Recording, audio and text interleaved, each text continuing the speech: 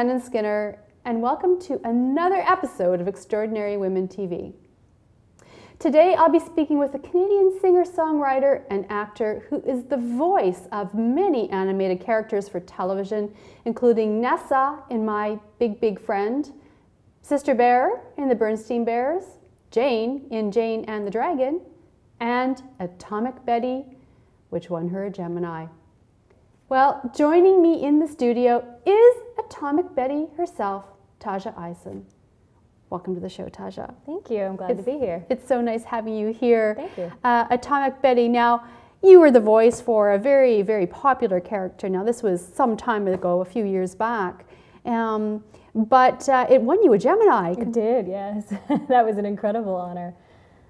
What was it like for you to stand on the stage and, and accept that award? It was um, it was wonderful. I mean, it was uh, it came sort of at the end of our of our three seasons. It was kind of a nice a nice send off for us, and it was actually an ensemble award that we won. Um, so I got to go up there and accept it with uh, with my fellow cast members, and it was just a really nice way to kind of cap um, what had been three to five years of a very successful show and a wonderful cast and an amazing crew and, and a tremendous honor to be recognized like that by the uh, by the voiceover community as well so it really it meant a lot that kind of recognition Now, you've, you've spent uh, a number of years uh, as an actor, and more recently, and we're going to be talking more about your acting, uh, but more recently, you have uh, been really working on your music career, which is have, which is wonderful. I mean, you've got a great jazzy voice.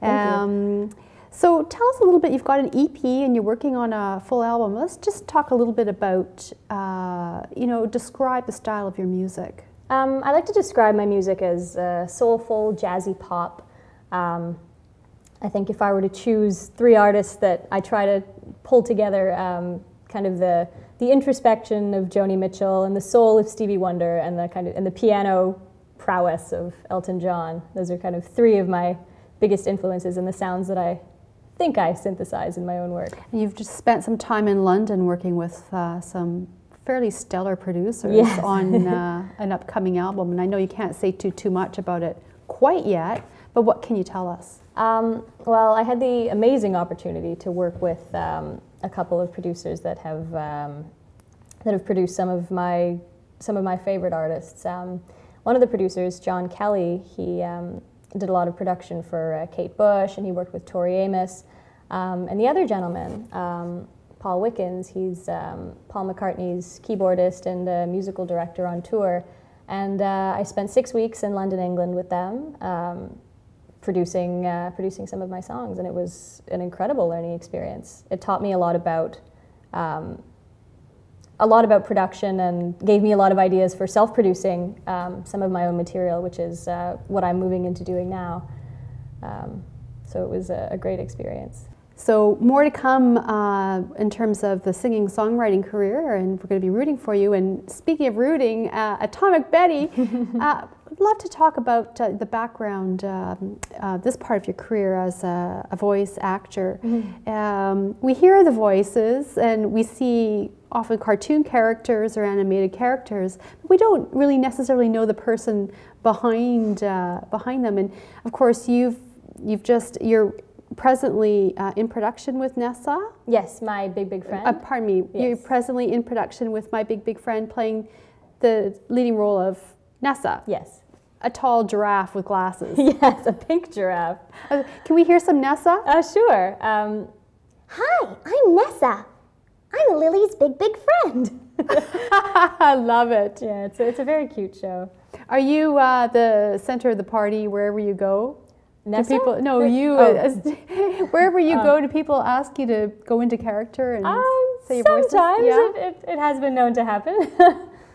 So take us through the process that you go through. I mean, you you've created a number of different voices and characters from Atomic Betty to Nessa and Berenstain Bears and a number of characters, Jane, Jane the Dragon.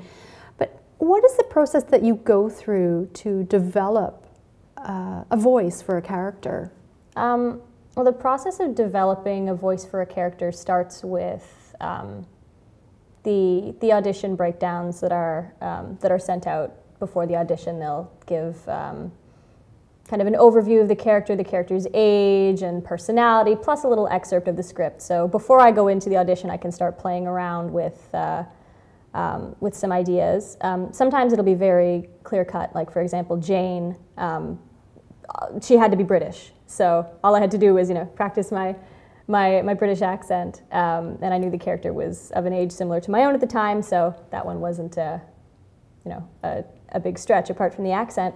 But um, for something like, uh, something like Nessa, where I do put on a voice that's quite different from my own, it's, it's a combination of uh, sort of knowing that it's a, a, show geared towards a preschool age audience. So I'm going to be, you know, coming up with a voice that's kind of very high energy and very cartoony and very engaging. And um, yeah, that's kind of that's kind of what goes into it. Then there's also an interplay with with the director who will, you know, make some suggestions as to how to find the character's voice. And now the good to know minute. Tajja, it's my good to know minute, and I know you've got a great success tip.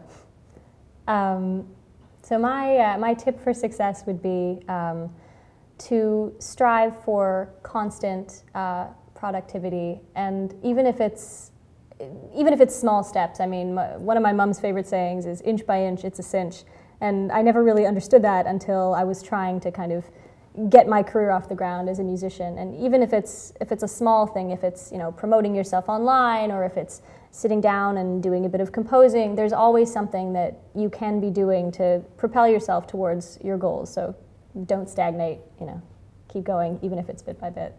And that's good to know. And thanks for that. We're going to take a break, and when we come back, more on Extraordinary Women TV. So stay with us. And now for more extraordinary women.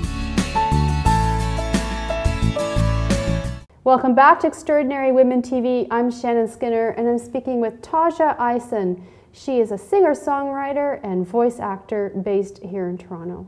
So, how much of an influence did uh, animation um, have in your life growing up and watching cartoons? With uh, you know wanting to to do that kind of work, then um, what kind of influence did it have on you? As, um, a, as an actor? It had uh, a huge influence. I mean, I was. I was the kid who loved all the Disney movies, who would watch them over and over, who knew all the songs, who would. I think my parents took me uh, to see The Lion King and Aladdin in theaters. So it was such a big, it was a big part of my life um, as a as a younger child. So um, it was that much cooler to get into it as uh, at the age that I did, around ten or eleven. Okay, so one doesn't become Atomic Betty overnight. I mean, that was a huge success for you. It was. What does it feel like to be Atomic Betty? Um, it's something I'm still very proud of. Um, I, it, it's the first, the first show that I talk about when people say, "Oh, you're a voice actor. What do you do? Anything I might know?" I say, "Well, have you heard of a show called Atomic Betty?" Um, and it's uh, yeah, a great source of pride for me, and I still, you know, have a lot of affection for that show. Is there anything in that character that you can identify with? Uh, any Atomic Betty and Tajja Isen? Um, definitely. There's definitely some Betty, a lot of me and Betty, a lot of Betty and me uh, at this point. But uh, I remember at the time um, when I when I was recording the show, being very uh, feeling identifying very strongly with how much of a strong female character Betty was. She was she was a leader. She was captain of her own spaceship. She you know saved the world. And she was, in, addition to being such a great role model for all of the, all of the girls who watched the show, um, a great role model for me as the actor as well. You get a script, and then what happens? Um, I will go into the studio, um, either by myself or with um, a few other actors if we have a lot of scenes together. And I mean, that, that's more the exception that we uh, record ensemble style, but that is a lot of fun. Um, so I'll go in studio, um, and there's a, there's a voice director who will um, who will say, okay, we're doing this block of lines from line one to line 30, say. Um, I'll go through, I'll do a take of those lines. Um, afterwards, the voice director will give me some direction, say, oh, add a bit more energy here, modify this line in some way. um, and then we'll do another run, and then we'll move on. Is there a character you haven't played that you'd love to have the leading role? Uh, I haven't played. I haven't played any villains. I, I think Give that her would a be interesting. villain. Yeah, I think it has something to do with the fact that I have this very kind of high, clear speaking voice. So I um, I play a lot of uh, you know the sort of the, the go-getter girls, the which you know which is great. But I think it'd be interesting to play uh, play somebody a little a little more devious. Now, I understand that for uh, young, a lot of young uh, male voices, um, cartoon characters are often girls. Yes. Uh, Has this been your experience? Um, not so much mine, um, but uh, my sister actually, who's also on My Big Big Friend. She plays uh, she plays Yuri, who's a little boy. Um, she gets a lot of roles uh, playing uh, little boys' voices because she has a very interesting voice. It's kind of it's it's raspy and it's uh, and it's a little deeper. So she has this incredible range where she can play not only uh, young women. She's 16. Um, but she can also play the voices of young boys. Would, would you rule out uh, actually appearing live in live um, action as Oh, no, an actor? Absolutely not. That's that's still something I'd like to do. Um, voiceover acting was really great because um, staying in school was always a priority for me, and so rather than having you know 18-hour days on set where I was you know tutored here and there, I, I wanted to remain in school as a full-time student. So even when I was um, 11 years old and in the Toronto production of The Lion King and doing two or three animated shows weekly, I still, you know, I was a full-time student, and that's always been my, it's always been my, a, a big priority of mine. So that's kind of why voice appealed to me as well. But for sure, I'd like to do uh, more on camera and more theater. Tajja, where can people uh, check out your music? Um, Hear you sing and play? Oh, well, I uh, a lot of my music can be found online. I'm constantly uh, promoting it and sharing it there. Um, but I'm a, a regular performer in uh, in Toronto and in York Region as well. I uh, I had the opportunity a few weeks ago to uh, open for the comedian David Brenner at the Richmond Hill Center for the Performing Arts. That must have been exciting. That was really exciting. Yeah. Thank you for being here today, Tajja. Really um, enjoyed speaking with you, and I wish you all the best with your upcoming album and with your career as a, a voice actor. Thank you so much for having me. If you would like to be a guest on Extraordinary Women TV, visit our website at extraordinarywomentv.com. I'd love to hear from you. Follow me on Twitter at Shannon underscore Skinner or on Facebook at Extraordinary Women TV. I'm Shannon Skinner. Join us next time for another episode of Extraordinary Women TV.